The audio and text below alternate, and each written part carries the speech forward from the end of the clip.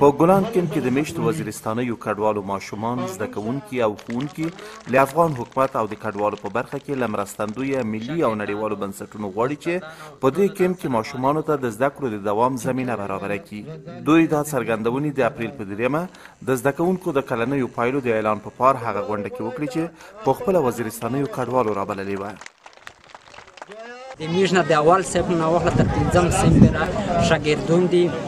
چې یو نیم زر تعداد لري نو دغه شاګردون که بیا چیرې قرارداد ونه شي یا یې نرسینګ سره وکړو یا نوره موسسه دي نو دغه شاګردون چې دي دا د هسې د سرپرست پاتې کېږي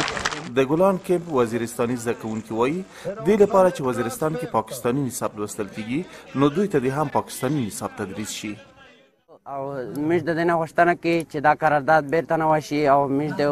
اووه کالو راهیسې ان ار سي موږ سره مرسته کړې ده موږ غواړو چې بیا دا قرارداد نه وشي تر څو زموږ تعلیم جاري وساتل شي چې موږ ته لار خلاصه شي دا موږ ته په پاکستان کې پایداره کوي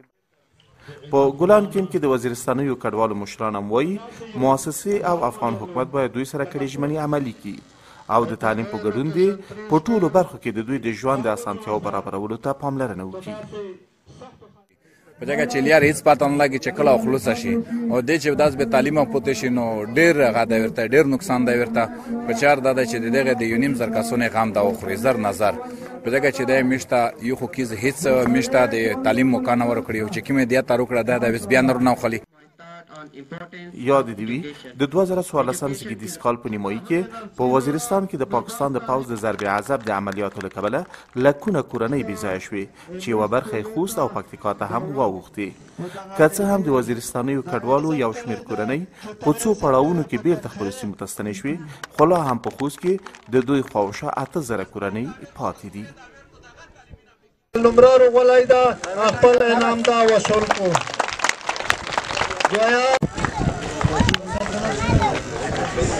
همدارنګه دریم همایون ولد متولا دروشی خپل دریم نمره انعام دا